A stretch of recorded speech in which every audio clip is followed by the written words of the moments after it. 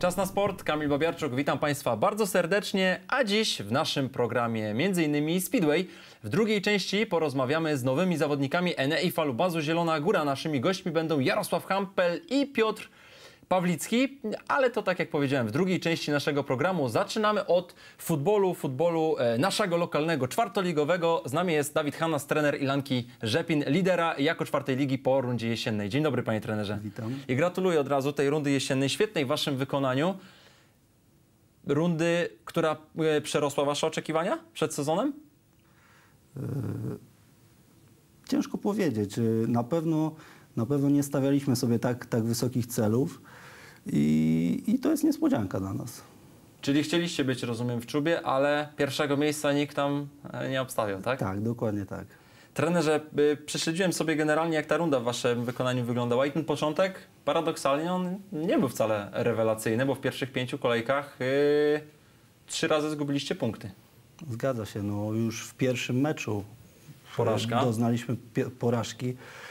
Notabene po, po bardzo dobrym, e, jeśli chodzi o wyniki, e, okresie letnim e, sparingowo, e, ta pewność siebie chyba nas, nas trochę zgubiła w tej pierwszej kolejce i, i od ranietków szybko sprowadziła nas na ziemię. Później, później dwa mecze chyba wygrane, później dwa remisy, no i, no i później już w miarę, w miarę upływu tego, tej rundy nabieraliśmy tempa. No właśnie, bo jak się spojrzy w tabelę, Ilanka y, pierwsze miejsce, 41 punktów, 13 zwycięstw, dwa remisy i dwie porażki, czyli to też y, ciekawe, że z tych czterech meczów, w których punkty gubiliście trzy na starcie sezonu, a później to już szliście jak burza przez te rozgrywki. No, no, fajnie wyciągaliśmy wnioski, można powiedzieć, e, rozpędzaliśmy się z meczu na mecz, no i końcówka była naprawdę bardzo fajna. Co jeżeli chodzi o ten początek? Pan mówi, y, że trochę zapewni siebie byliście. y, Czy też musieliście się dotrzeć jako, jako zespół, żeby to wszystko też zaskoczyło, zatrybiło? E, Pe pewnie to też miało wpływ, no bo po poprzednim sezonie nastąpiło kilka, kilka zmian w naszym składzie. Odeszło trzech podstawowych zawodników, musieliśmy to uzupełnić. No i, no i to miało chyba e, największy wpływ na, na ten e, słaby początek. 57 goli, najlepsza ofensywa ligi. Z czego to wynika, że tak dużo bramek y, strzelacie? To wynika z waszego systemu gry, z pana filozofii, z tego, jakich macie zawodników? Gdzie tutaj szukać odpowiedzi na to pytanie? Y, W tym wszystkim chyba, co Pan powiedział, bo, bo ten nasz y, styl jest ofensywny. Lubimy, chcemy grać ofensywnie, chcemy dominować w meczu i dodatkowo mamy, mamy wykonawców, jak na nasze tutaj lokalne warunki wyśmienitych. Jeżeli chodzi o pana filozofię, pan generalnie. y, ja, ja, ja, to też chyba po statystykach widać, no, że filozofia jest generalnie ofensywna. Natomiast jak pan obejmował e, stery w Wilance, tak, tak powiem, to jak pan sobie wizualizował, jak ten zespół ma grać i czy on właśnie tej jesieni grał tak, jak pan sobie wtedy to wyobrażał? Y, Początki moje y, jako trenera seniorów były, były słabe. Były słabe, mimo że strzelaliśmy dużo bramek, no bo w Rzepinie są dobrzy ofensywni zawodnicy. Król strzelców poprzedniego sezonu, król strzelców y, też y, kilka sezonów do tyłu.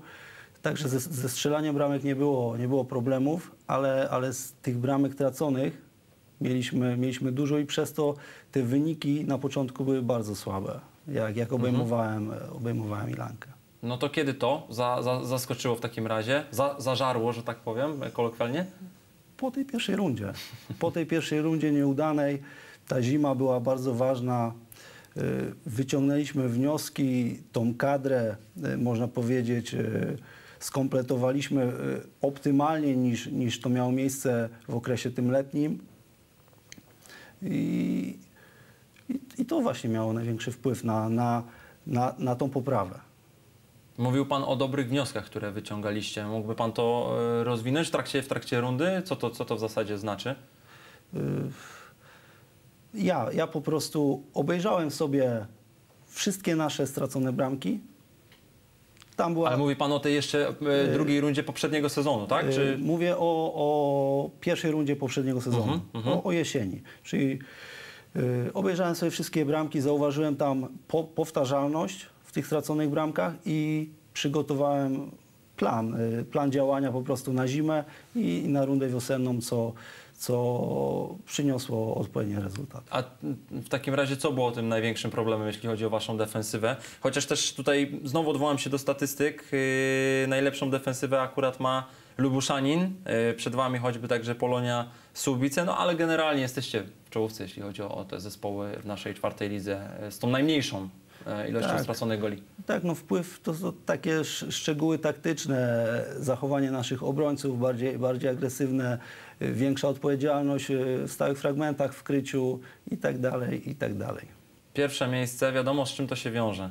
Od razu myśli są trzecia liga, no bo, no bo to jest owoc wygrania czwartej ligi. No, pytanie jest, trenerze, proste. Czy wy chcecie awansować do trzeciej ligi?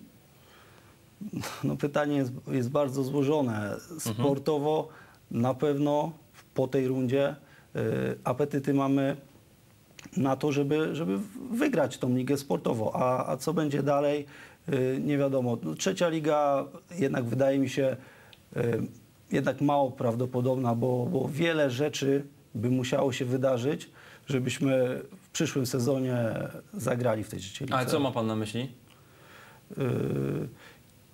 Kilka, kilka rzeczy. No, po pierwsze, trzeba w czerwcu być y, liderem. Trzeba być y, na tym miejscu, które Jeśli obecnie... pokazuje, że jesteście w stanie to Tak, zrobić. ale to jest, to jest wa- warunek konieczny do tego. Druga, druga sprawa to skompletowanie kadry.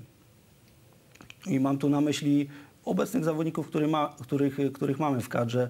Y, Jest kilku doświadczonych zawodników, którzy mają za sobą już grę na, na wyższych szczeblach, mają y, rodziny, mają dzieci i, i jednak y, ta, to poświęcenie, które obecnie dają drużynie, może być maksymalne. Na trzecią ligę mogą już sobie nie pozwolić, jeśli chodzi o właśnie te sprawy osobiste.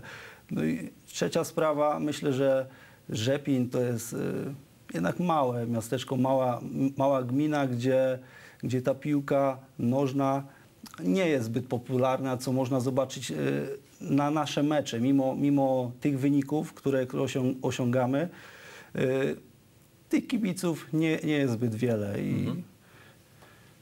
Ale z drugiej strony burmistrz mówi, jeśli trzeba będzie, to, to pomożemy. Zobaczymy. Najpierw muszą się wydarzyć te, te, pierwsze, te pierwsze rzeczy. No warunkiem koniecznym jest wygranie tak, tak, ligi. Tak. Ale pan, y, pan by chciał? Wy jako zespół byście chcieli? Czy, czy mówiąc o tych obowiązkach już troszeczkę też pan daje do zrozumienia, że jednak ten zespół... Że ciężko by było No właśnie, właśnie. tą kadrę skompletować. Na pewno są, są zawodnicy, którzy by chcieli. Ja, ja może w przyszłości też, też Mhm. bym chciał. Obecnie, obecnie to, co, to, co poświęcam e, dla, dla sportu, dla, dla, dla piłki nożnej, też uważam za, za optymalne. No trzecia liga też wiadomo czym się je, tak? To są dalsze wyjazdy, to są, to są przede wszystkim, no właśnie, podróże. Ale też trzeba więcej trenować. Przykład Odry pokazał, że, że, że dużo zmian. Yy, ale mam wrażenie, że tak troszeczkę pan jakby tutaj nas przyzwyczaił do myśli, że, że, że, że być może z tego wyścigu się na koniec wycofacie, czy, czy nie? Nie, czy to- sportowo cel jest yy, na wiosnę wygrać tę ligę? Tak jak powiedziałem, sportowo na pewno będziemy chcieli wygrywać kolejne mecze, tak jak, tak jak, to, miało w tej rundzie, tak jak to miało miejsce w tej rundzie. A jak pan obstawia, jak, jak to będzie wiosną wyglądało w czwartej lidze? Nadal wy, Lubuszanin, Polonia, czy może ktoś tutaj doskoczy jeszcze do was, do tej, do tej trójki? Bo e, ta strata Polonii też jest malutka, to są trzy punkty tak naprawdę. W teorii wygrywają mecz z wami e, i już mogą być e, Tak, przy, tak. przy jakiejś tam, jakimś poślizgu Lubuszanina liderem. No, na pewno ta trójka jest, jest krok bliżej. Yy, Jest na czwartym miejscu dla mnie, dla mnie osobiście Stal Jasień, która głośno mówi o tym, że, że chce, Mhm. że, że na pewno się wzmocni, że chce być silniejsza na wiosnę. Także no zobaczymy, jak to się wyklaruje. No dobrze, to czekamy do wiosny. E, Panu i pana drużynie życzę w takim razie e, równie owocnej rundy, co ta e, za nami. Dawid Hanas, trener Lilanki Rzepin, bardzo dziękuję za rozmowę, panie trenerze. Dziękuję. A za moment, y, tak jak już Państwu zapowiadałem, będziemy rozmawiać z Jarosławem Hampelem i Piotrem Pawlickim, nowymi zawodnikami NEI Falubazu Zielona Góra na sezon 2024.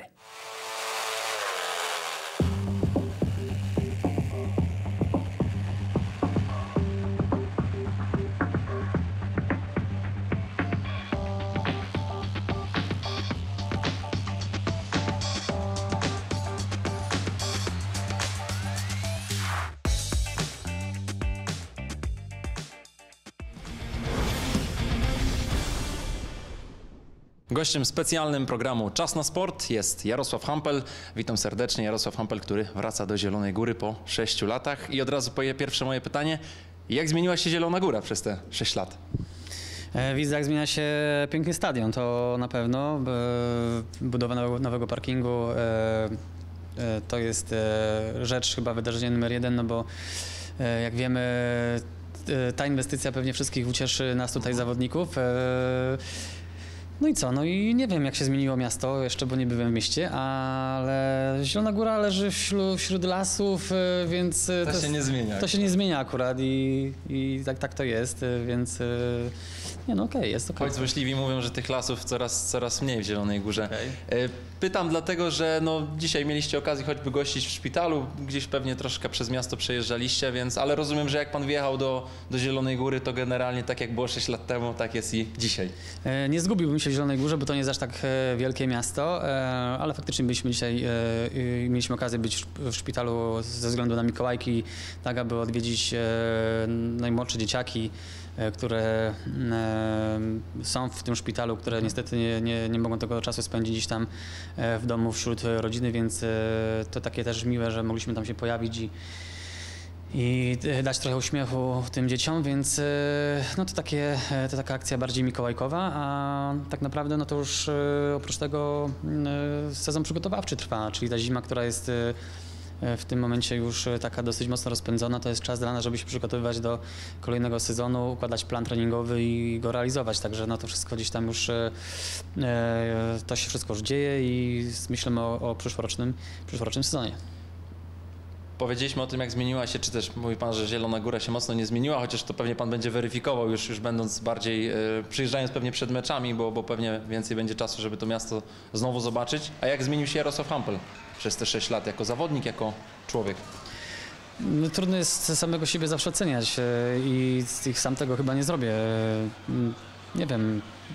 e, Cały czas czuję, że stać mnie na dobry mm, poziom sportowy i, i, i stać mnie na tę rywalizację z najlepszymi, więc to jest jak gdyby dla mnie najważniejsze, że pomimo upływu lat. E, ja cały czas e, w sobie czuję, że mam ogromne chęci do tego, żeby e, trenować, przygotowywać się, pracować nad sobą i i trzymać e, wysoki poziom sportowy. Także to jest, e, to jest e, takie, taka myśl przewodnia, jeśli chodzi o, o te przygotowania przed przyszłorocznym sezonem i chciałbym, żeby to wszystko się sprawdziło. To jeszcze dopytam w takim razie w kwestii tej zmiany. Mówi Pan, że nie chce Pan siebie oceniać, a może inaczej, w samym Pana życiu prywatnym dużo się pozmieniało w tym czasie przez te 6 lat, czy, czy tutaj raczej konstant? Konstans. Nie, no to tak zawsze jest, że w życiu pewne rzeczy się zmieniają. Raz, raz to trwa szybciej, raz to trwa wolniej, ale, ale ogólnie wszystko jest w porządku, wszystko jest, jak to się mówi, mm, e, w takim trybie dość e, spokojnym i to mi też pozwala gdzieś tam skupić się jak najbardziej na tym e, aspekcie sportowym, żeby każdą chwilę wykorzystać do tego, e, aby się dobrze przygotować, bo ten czas tej zimy tak naprawdę dla nas szybko zawsze leci i nie obejrzymy się, a teraz będziemy u progu pierwszych treningów, sparingów i wtedy już trzeba być, jak to się mówi, w pełni w 100% przygotowanym. Powiedział Pan o, o, o tym, co się dzieje na torze. Wiadomo, że też Falubas się zmienił. No, pan jest jedną z nowych e, postaci, choć tak sobie myślę, że dla Pana wejście w ten Falubas to będzie chyba i, dla Pana, i dla Piotra Pawlickiego o tyle proste, że ten Falubas to trochę tak złośliwi nawet mówią, Unia Leszno 2 się zrobiła, bo, bo tych zawodników z przeszłością w Unii, czy wręcz wychowanków klubu leszczyńskiego jest dużo. To może paradoksalnie pomóc Wam yy, w budowaniu takiego team spiritu, że, że Wy się już po prostu wszyscy znacie, bo chyba z Rasmusem też mieliście okazję, zdaje się, gdzieś tam za granicą e, wspólnie startować. E, Akurat z Rasmusem nie, ale e, tak, z Piotr chłopakami. chyba w takim razie. Może Piotrek, e, ale tak, e, no znamy się z chłopakami już wiele, wiele lat, e, tak naprawdę z braćmi. E, znam się jeszcze od czasów, kiedy byli ma, małymi, małymi chłopaczkami, dokładnie tak.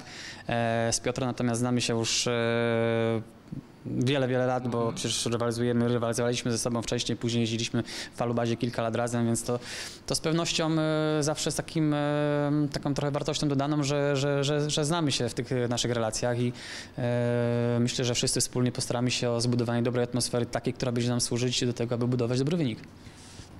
Falubas z Ekstraligi na chwilę spadł, po dwóch latach do niej e, wraca. Pan natomiast cały czas na tym najwyższym poziomie był i tak się zastanawiam, e, pan najlepiej chyba na to pytanie jest w stanie odpowiedzieć, Na co musi przygotować się kibic zielonogórski, jeśli chodzi o, o ten pierwszy sezon po awansie do PG Ekstraligi? Czy ta Ekstraliga zmieniła się jakoś przez te ostatnie dwa, dwa sezony?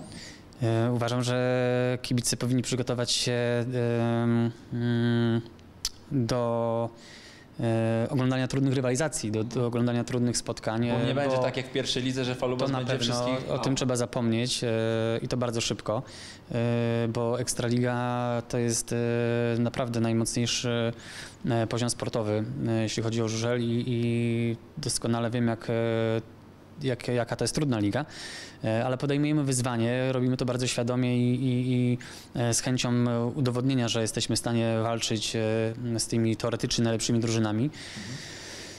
E, już mówiłem wcześniej i powtórzę, że nie chciałem za dużo mówić, bo od, samego, od samej rozmowy ni- nic nie wynika, e, ale natomiast wiemy, co robić, jak się przygotować, e, e, ile potrzeba determinacji do tego, żeby, żeby zrobić to w sposób dobry i na najwyższym poziomie, więc mam nadzieję, że kibiców czekają ciekawe, zacięte mecze i widowiska, takie, które będą pokazywały, że e, jesteśmy drużyną, z którą trzeba się liczyć i że nie będziemy e, drużyną słabą, tylko będziemy drużyną, która e, udowodni, że naprawdę trzymamy dobry poziom i potrafimy, potrafimy wygrywać. Wspomniał Pan o tym, co się dzieje na, na torze, czy też w zasadzie bardziej nie tyle na torze, co, co, co w parku maszyn, o tej modernizacji obiektu. Wiem, że Pan po sezonie miał okazję tutaj parę kółek po, pokręcić. E, Przez wiele lat w ogóle Pana rekord toru był nie do pobicia. Dopiero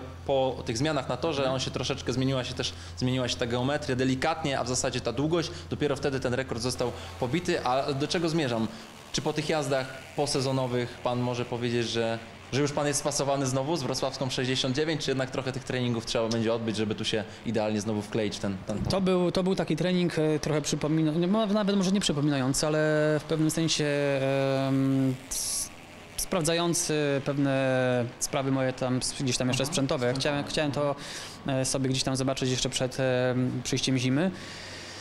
E, Drugą rzeczą jest to, że lubię jeździć e, na tym stadionie przy W69. E, Zawsze mi się tutaj na tym torze, do- torze dobrze jeździło i chciałbym, żeby było tak samo i tym razem, e, żeby to były dobre starty i żeby to była szybka jazda po prostu. Ale od tego będzie wiosna, od tego będzie cały proces przygotowania już wiosenny, łącznie z testowaniem z motocykli, silników i tak dalej, i tak dalej, więc na to będzie czas gdzieś tam na początku marca, ale jestem dobrej myśli, bo dlaczego nie? Święta e, rodzinnie, e, że tak powiem, w domu, czy, czy, czy raczej gdzieś po, poza domem? Nie, w gronie najbliższej rodziny w domu, bez żadnych wyjazdów, e, bez żadnych planów wyjazdowych. A Sylwester? Szczerze mówiąc, nie mam jeszcze żadnego planu e, konkretnego, e, to tak zawsze bardziej na spontanie. To na koniec ostatnie pytanie, ulubiona wigilijna potrawa Jarosława Hampela. Ulubiona e, potrawa? E, no ja lubię dania rybne, więc e, ryba w jakiejkolwiek postaci. Okej. Bardzo dziękuję, Jarosław Hampel. Dziękuję. Dziękujemy Państwu bardzo. E, Jarosław Hampel był naszym e, gościem specjalnym, a za chwilę drugi z naszych gości, a więc Piotr Pawlicki. A naszym drugim gościem jest Piotr Pawlicki, drugi z nowych zawodników NEI Falobazu Zielona Góra. Dzień dobry. Dzień dobry. Panie Piotrze, pierwsze pytanie o brata, ale nie takie jak pan y, pewnie myśli, jak wszyscy zadają. Y, Jak to będzie po wielu latach znowu wrócić, y, czy też może znowu spotkać się z Przemkiem w jednym zespole, bo trochę czasu od tej waszej wspólnej jazdy minęło. No w Polsce tak. E. No, no bo w Szwecji jeździmy razem. Jak to będzie? To są takie ciężkie pytania. Fajnie jakby było super, bo tak byśmy chcieli, nie? Ale no różnie może być. Mam zawsze nadzieję, na, że zawsze będzie na dobrze. 5-1. To by było najlepiej, żebyśmy tylko wygrywali, ale wiadomo, że e, idzie, ale jest bardzo ciężko. E, nie no, ważne, żeby dobrze pojechać, żebyśmy wszyscy w drużynie tutaj robili e, takie punkty, żeby po prostu nam starczały do, do wygrywania i tyle. Mało któremu zawodnikowi można zadać to pytanie, ale jaka jest różnica, jak się jedzie, startuje spod taśmy w parze z bratem, a jak się startuje z jakimkolwiek innym zawodnikiem? Czy nie ma żadnej różnicy w zasadzie? Trochę z bratem jest ciężej, bo patrzysz na niego, uważasz na niego i e, Czyli taka starasz- troska, tak? Trochę na to, że No, też wychodzi o... naturalne. Braterska troska i, i ale tu za, zawsze to jest tak bardziej z Przemka strony jak z mojej. Nawet czasami się zdarza, że wyzywam że mu pod kaskiem, bo widzę jak on e, jedzie przede mną i się ogląda, bo chce mi jak najlepiej pomóc, a tak naprawdę nie zawsze to tak jest. E, czasami takie oglądanie i zwalnianie po prostu ci przeszkadza. Ale na pewno na to, że się bardzo troszczymy o siebie, no. A rywalizacja też jest? Jak najbardziej. Całe życie rywalizujemy ze sobą, ale zdrowo. Po bratersku. No dobra, y, dużą rolę myślę Przemek odegrał, tak, tak mi się wydaje, może pan za chwilę powie, że nie w tym, w tym jednak transferze pana do, do Zielonej Góry. No tak i nie. Większą rolę odegrało po prostu to, że mm, ja po prostu chciałem e, tu przyjść i, i, rozmowa z Piotrem Protasiewiczem, a, a z Przemkiem za dużo tak naprawdę e, nie rozmawialiśmy. Kilka pytań w sumie miałem do niego, ale dobrze wiedziałem od początku, jak, jak, jak tutaj to wszystko funkcjonuje i też obserwowałem z boku, widziałem, zresztą już trochę wcześniej pojawiały się rozmowy moje i, i, i, i falubazu, więc y, no w końcu doszło do tego, że jestem. Czy do tej pory w ogóle w, w karierze Piotra Pawlickiego był y, jakikolwiek inny moment, kiedy ktoś z Zielonej Góry wykonywał telefon i, i pana próbował tutaj e, ściągnąć? Był. Był. To nie raz w sumie, ale jeździłem w Lesznie wtedy. Ale był ktoś, kto tak y, mocno faktycznie zabiegał o pana względy, próbo- Wiesz, no dzwonił. Nie mogę ci zdradzić e, szczegółów, ale no, dochodziło do rozmów wcześniej też. No ale generalnie jak byłem we formie takiej najlepszej, no to tak naprawdę z, większoma, z, z większość klubami w Polsce rozmawiałem, bo, bo każdy gdzieś tam, e, e, może nie każdy, ale te, te kluby jednak e, interesowały się moją osobą i, i chciały mnie ściągnąć po prostu do siebie. No ale zawsze jeździłem w Lesznie i w końcu odszedłem. E, W zeszłym sezonie byłem zawodnikiem Betard Sparty Wrocław, a teraz jestem tutaj, z czego jestem zadowolony i mam nadzieję, że to nie będzie tylko rok, bo e, też co roku zmieniać i, i podróżować po Polsce to nie jest dobre. Także mam nadzieję, że mm, ten klub będzie ze, ze mnie zadowolony. E, no i że ja też będę zadowolony i że tak się wszystko poukłada, że to nie będzie tylko rok. A pan, to będzie może trudne pytanie, a może nie. Pan żałuje tego odejścia z Leszna? Nie, nie, w żadnym wypadku. To była bardzo dobra decyzja, ale no urodziłem się tam, wychowałem, całą rodzinę tam mam, całe życie tam prze, prze, e, przesiedziałem tak naprawdę. E, przejeździłem, no bo 14 lat na stadionie spędzone to też moje pół życia. E, także sentyment jest, ale kompletnie jakby mm, nie myślę już o tym. Raczej już dawno otworzyłem sobie jakąś nową drogę w karierze i, i na tym się skupiam. To jeszcze jedno pytanie, które też Jarkowi zadałem. Na co y, Pana zdaniem muszą przygotować się fani falubazu po tej rocznej e, absencji, po dwuletniej, przepraszam, nawet absencji i nieobecności w PG Ekstralidze przed tym, przed tym sezonem? Przed czym by Pan na przykład ich przestrzegł? Nie wiem, ja bym nie przestrzegał. Ja bym chyba bardziej zachęcił ich, że po prostu mm, zapełniajmy ten stadion, a wspólnie się będziemy e, cieszyć. To jeszcze jedno pytanie, bo święta się zbliżają. Yy, I to, to też Jarka pytałem. Ulubiona y, potrawa wigilijna Piotra Pawlic. słyszeć pytając y, przestrzeg? Jest jakiś... y, Nie, nie, jest Jarek, nie, nie, nie, Jarek powiedział o tym, że kibice muszą się przygotować na to, że Falubas no nie będzie po prostu wygrywał meczu za wygrywał. meczem, tak jak to było w pierwszej lidze. No to jest No, naturalne, powiedziałem, ale że tak, no ale jakby ten temat jest mocno poruszany. Ja bym się skupił na tym, że możemy być czarnym koniem tego sezonu. to wracając do pytania, ulubiona potrawa wigilijna? E, sałatka jarzynowa. Jej nie ma na Wigilii, ale ja ją e, jakby... A czemu zrzucić, spadł ci telefon? No z wrażenia chyba właśnie tutaj dodamy, że, ko- Eee, że kolega e, redaktor No, jej Jacek Białogłowy jest... Ale u nas na Wigilii jest. Ja uwielbiam i generalnie tak to wygląda u mnie, że generalnie tą sałatkę jarzynową najbardziej lubię. No dobra, z tradycyjnych w takim razie, tych 12 potraw? Nie mam takich tradycji w sobie, żeby... Nie wiem, nie wiem karpia w ogóle. Ja też nie. Mówię szczerze, no jestem... E, e, może nie wybredny, ale mam swoje ulubione dania, które po prostu preferuję. Piotr Pawlicki, bardzo dziękuję za rozmowę. Dziękuję. Również dziękujemy Piotr Pawlicki, Jarosław Hampel, nowi zawodnicy Enei Falubazu Zielona Góra, a to był program Czas na Sport. Państwu bardzo dziękujemy. Do zobaczenia.